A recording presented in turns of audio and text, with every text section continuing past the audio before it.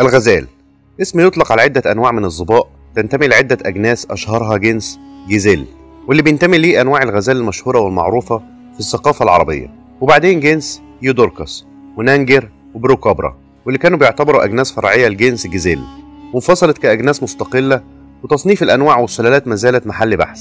واسم الغزال بالإنجليزية جيزيل اسم عرب الأصل وانتقل للغات الأوروبية عبر الإسبانية القديمة والفرنسية القديمة. نتيجة تأثرهم بالحضارة العربية. والغزلان بتعيش في الصحاري والوديان والمناطق العشبية والسافانا من إفريقيا حتى وسط آسيا وشبه القارة الهندية وانقرضت من أوروبا منذ زمن بعيد ولا توجد بالعالم الجديد.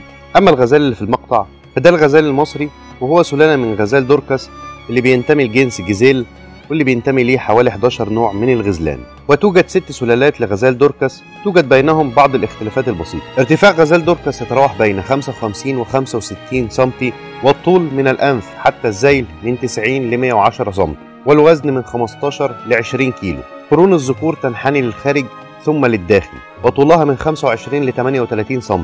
أما الإناث فقرونها أكثر استقامة من 15 ل 25 سم. وغزال دوركاس يستطيع الركض بسرعة من 80 ل 96 كم على الساعة وتصل الإناث للنضج الجنسي بعمر 9 أشهر والذكور بعمر 18 شهر. ولكن الإناث في العادة تكون جاهزة للتزاوج من عمر عامين في البرية وأقل من 8 شهور في الأسد. فترة الحمل 6 شهور ويفطم الصغار بعمر 3 أشهر. موسم التزاوج من سبتمبر لنوفمبر بشكل عام ولكنه بيختلف من منطقة لأخرى. والعمر يصل ل 12 عام في البرية وفي الأسد قد يصل ل 20 عام. وغزال دوركاس يتغذى على الأعشاب وأوراق الشجيرات والزهور والبراعم ويمكنه أن يعيش بدون ماء اعتمادا على عصارة النباتات إلا أنه يشرب الماء متى توافر وينشط غزال دوركاس من الغروب حتى الفجر وله فضل كبير نشر بذور الأعشاب والأشجار البرية. أعداد غزال دوركاس في البرية تتراوح بين 35 إلى 40 ألف وهو يعتبر مهدد بالانقراض بدرجة دنيا. وهذا العدد موزع على عدة دول تتراوح بين 21 إلى 22 دولة من المغرب وحتى الأردن. أما المخاطر التي يتعرض لها في البرية الصيد وتقليص بيئته نتيجة أنشطة التعدين واستصلاح الأراضي الصحراوية ورعي الأغنام في مناطق تواجده.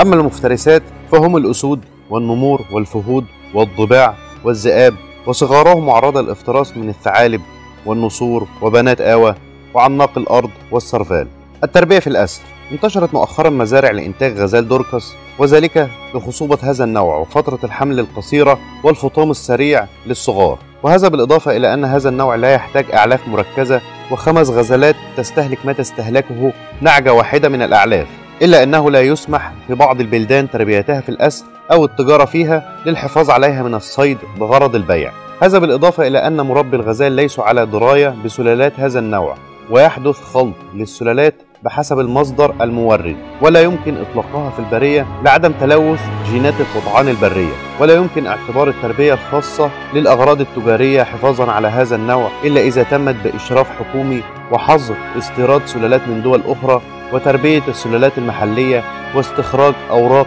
ثبوتية توثق النوع والسلالة للحفاظ على نقاء الدم. ولقد حدث بالفعل خلط بين السلالات في المزارع الخاصة في بعض الدول. مع الإشارة إلى أن السلالات هذا النوع ما زالت قيد البحث والدراسة ومنها ما يتم دراسته لفصله كنوع مستقل. وللغزال في أدب العرب مكانة خاصة فشبهت البنت الرشيقة الحركة بالغزالة وشبهت العيون الجميلة بعيون الغزال. وقلما ذكر شعراء العرب القدامى قتل أو صيد الغزال في أشعارهم ومن أمثلة التشبيه بالغزال قال امرؤ القيس وماذا عليه أن ذكرت أوانسا؟ كغزلان رمل في محاريب أقيالي ويقول المثقب العبدي كغزلان خزلن بذات ضال تنوش الدانيات من الغصون ظهرن بكلة وسدلن أخرى وثقبن الوصاوص للعيون. أتمنى أن تكونوا استمتعتم بالمقطع دمتم بود ولا تنسوا الإعجاب والمشاركة والاشتراك في القناة ولزيارة المدونة الخاصة بالقناة الرابط موجود في صندوق الوصف.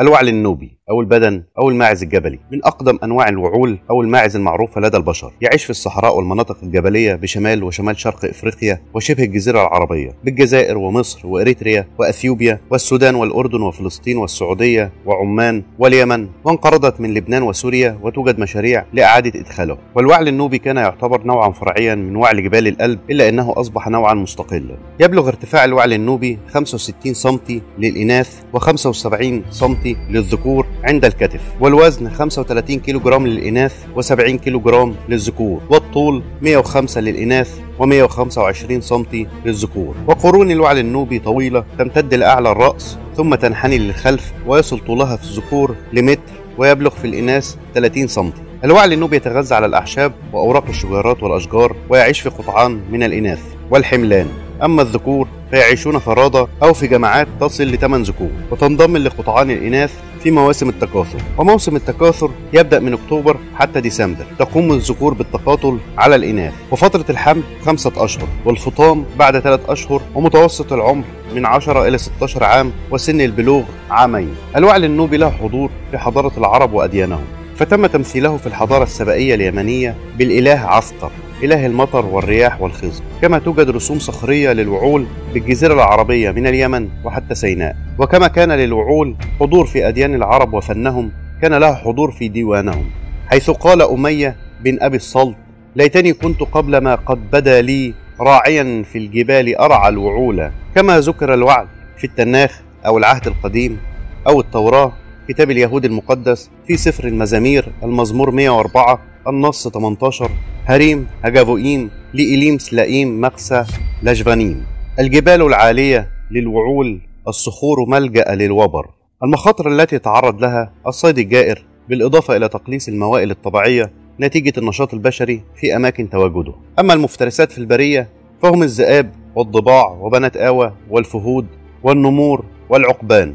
ومن المشاهد التي قد نستغربها قيام العقبان بالحوم حول حملان الوعل النوبي لإخافتها فتنزلق من على الصخور لتسقط صريعة. فتأكل العقبان حتى تشبع وتشاركها الذئاب وبنات آوى ثم تأتي الضباع ليلا فتلتهم ما تبقى منها حتى الجلد والعظام. وأحيانا تقوم العقبان بحمل الحملان وإلقائها من أعالي الهضاب والجبال لتسقط صريعة ثم تتغذى عليها. أما التربية في الأسر فتربى في مزارع خاصة بغرض البيع التجاري وتوجد مزارع في الولايات المتحدة الأمريكية تقوم بتربيتها للصيد التجاري إلا أنها تقوم بخلط الأنواع من الوعل النوبي والوعل الألبي لذلك لا تعتبر أعداد المزارع الأمريكية إضافة من ناحية الإكثار. ومن السهل إدخال هذا النوع في أماكن مختلفة في بيئاتنا العربية وخاصة في مصر على طول جبال البحر الأحمر والصحراء الغربية والمحميات الطبيعية حيث أن هذا النوع يتحمل وعورة الأرض وقلة الموارد. أتمنى أن تكونوا استمتعتم بالمقطع ولا تنسوا الإعجاب والمشاركة والاشتراك في القناة ولمزيد من المعلومات يمكن زيارة المدونة الخاصة بالقناة والرابط في صندوق الوصف. دمتم بود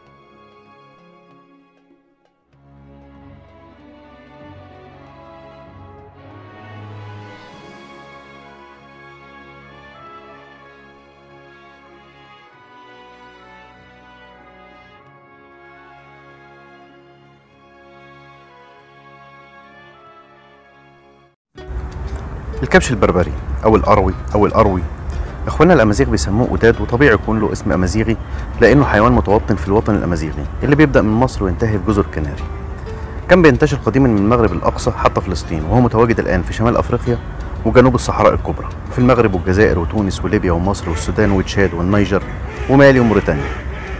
متواجد في مصر في منطقتين محمية جبل علبة في مثلث حلايب والمشهورة بتنوعها البيولوجي.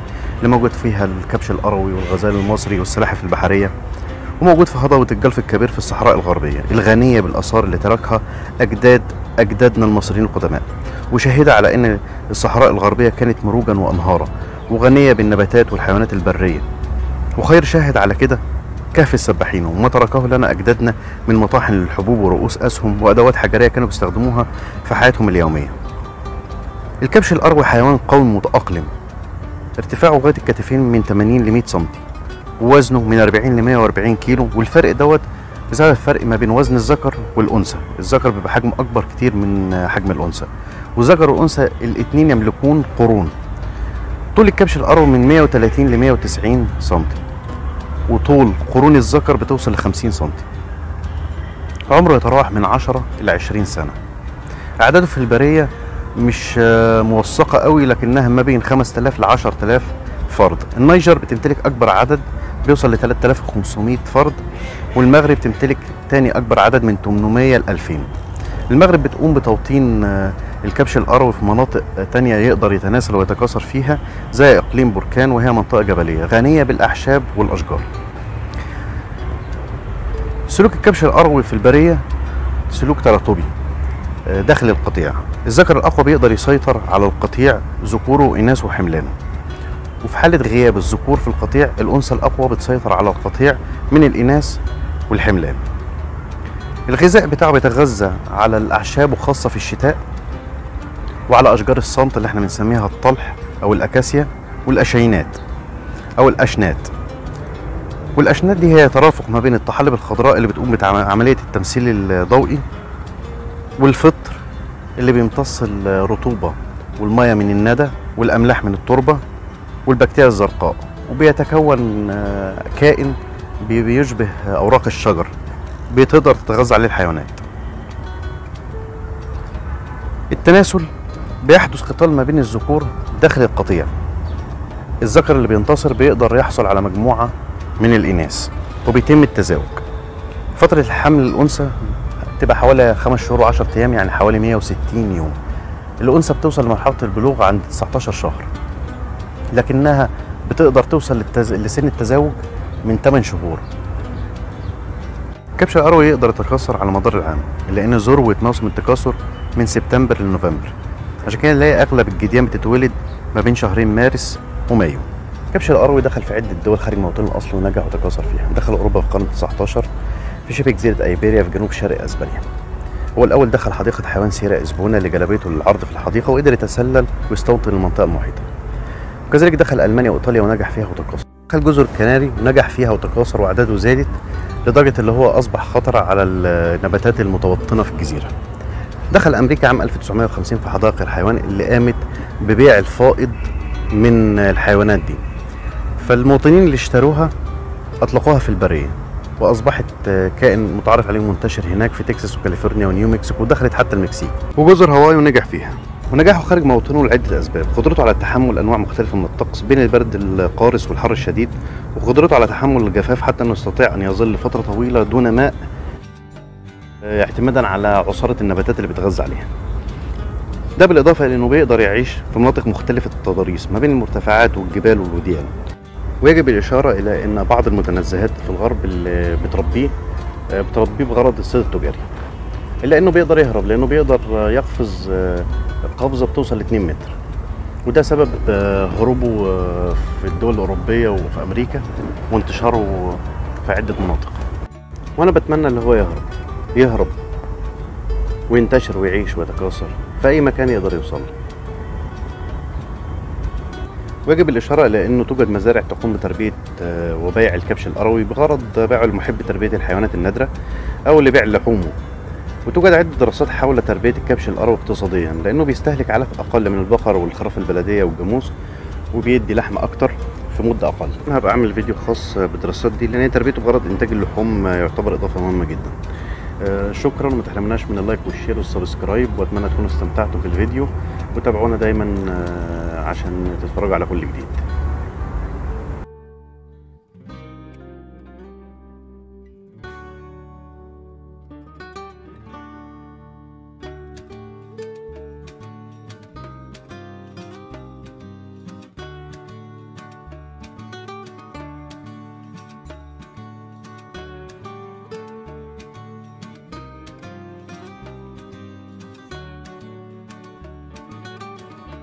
مهأ أبو حراب أحد أنواع المهأ الإفريقية والأنواع الأخرى هي المهأ العربية في آسيا في شبه الجزيرة العربية حتى سيناء. مها شرق إفريقيا مها جنوب إفريقيا. مها أبو حراب انقرض من البرية بحلول عام 2000 والمشاهدات على وجوده في تشاد والنيجر قليلة وغير مؤكدة. وأطلق مشروع إكسار وإعادة أبو حراب للبرية. فتم إطلاق مجموعة من 25 رأس في حظيرة مسيجة داخل محمية وادي ريم ووادي أخيم بتشاد في عام 2016 بالتعاون مع هيئة بيئة أبو ظبي. ثم تم إطلاق 14 رأسا مرة أخرى عام 2017 مها أبو حراب يصل ارتفاعه حتى الكتفين لواحد متر. تزن الذكور من 140 إلى 210 كيلو جرام والأنثى من 91 حتى 140 كيلو جرام طول الجسم من الرأس حتى الذيل من 140 حتى 240 سم. وطول القرون يتراوح بين 1 متر حتى 120 سم. العمر يتراوح بين 15 إلى 20 عاما. الموطن قديما كان ينتشر من مصر حتى المغرب الأقصى في شمال أفريقيا ومن السودان حتى موريتانيا جنوب الصحراء الكبرى. والآن يوجد حوالي 1750 رأس في برامج التربية والإكفار وحوالي 11000 رأس في مزارع بتكساس بالولايات المتحدة الأمريكية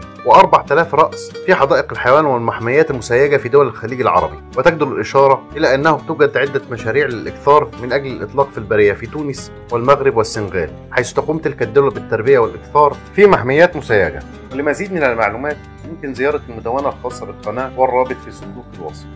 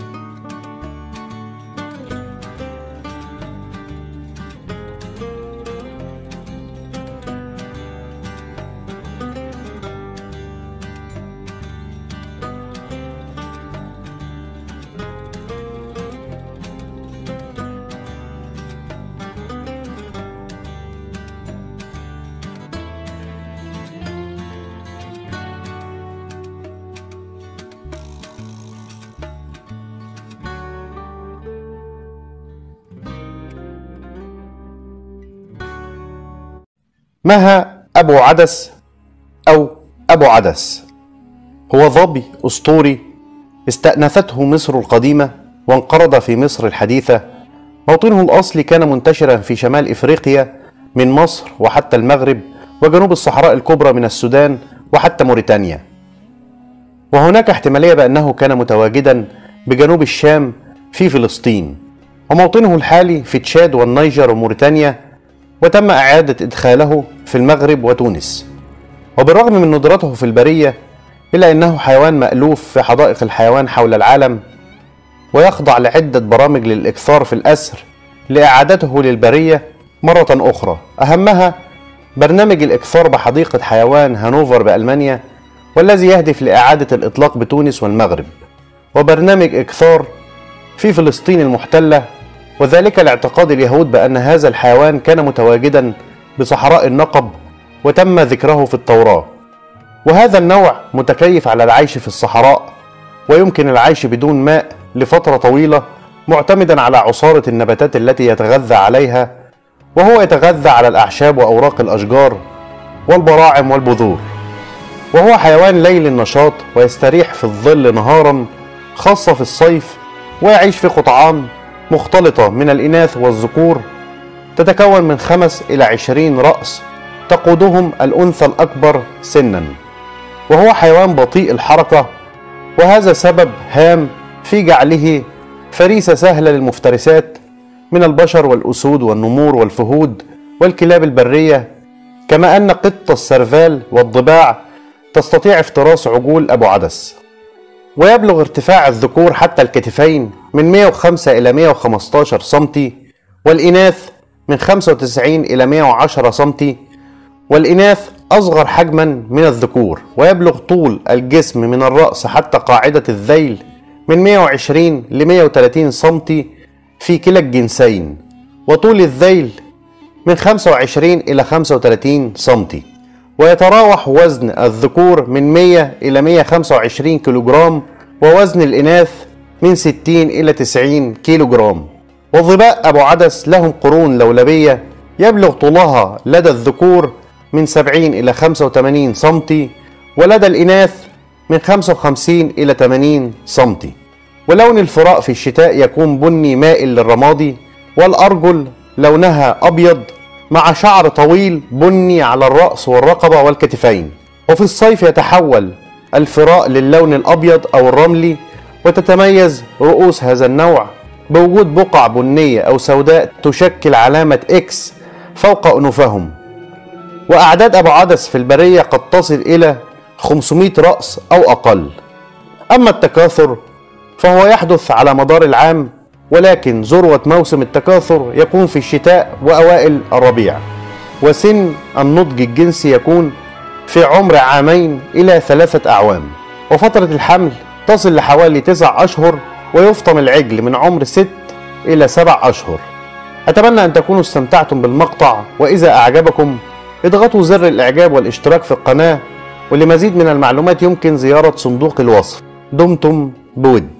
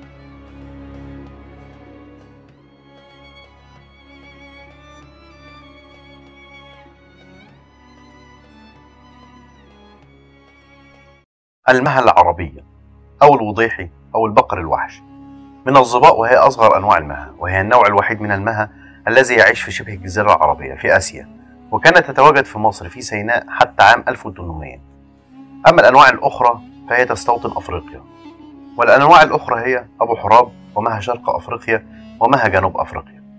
والمها تعني في لسان العرب الشمس والكوكب والمها تعني الحجارة البيضاء التي تبرق مثل البلور. انقرضت من البرية بحلول عام 1972 وبدأت إعادة الإدخال والإكثار في البرية بعد مرور عشر أعوام أي في عام 1982 وكانت سلطنة عمان هي أول الدول التي أقدمت على إعادة المها للبرية وتعتبر حديقة حيوان فينيكس الأمريكية أول حديقة حيوان تقوم بإكثار المها العربية في الأسر عام 1962 عددها الآن حوالي 1100 رأس في البرية وفي الأسر أعدادها تتراوح بين 6000 و 7000 رأس. ارتفاع المها حوالي متر حتى الكتفين ويبلغ وزنها 70 كيلوغرام ويغلب عليها اللون الأبيض وقرون المها يتراوح طولها بين 50 إلى 75 سم. ولطالما كانت المها العربية ملهمة للبشر فشكلها الخارجي الشبيه بالحصان وقرنيها المتوازيين هم السبب وراء وجود أسطورة اليونيكورن أو الحصان ذو القرن. ولطالما تغنى العرب بالمها في أشعارهم وأخذت المها مكانة رفيعة في أشعار العرب حتى أننا شبهنا جمال النساء بصفات المها. فقال علي بن الجهم عيون المها بين الرصافة والجسر جلبنا الهوى من حيث أدري ولا أدري. أعدن لي الشوق القديم ولم أكن سلوت ولكن زدن جمرا على جمري. وقال زهير بن أبي سلمى تنازعها المها شبها ودر النحور وشاكهت فيها الظباء. وفي النهاية أقول أن المها تشبهنا. نضعف ولا نموت. يظن الناس أننا انتهينا ونبدأ من جديد.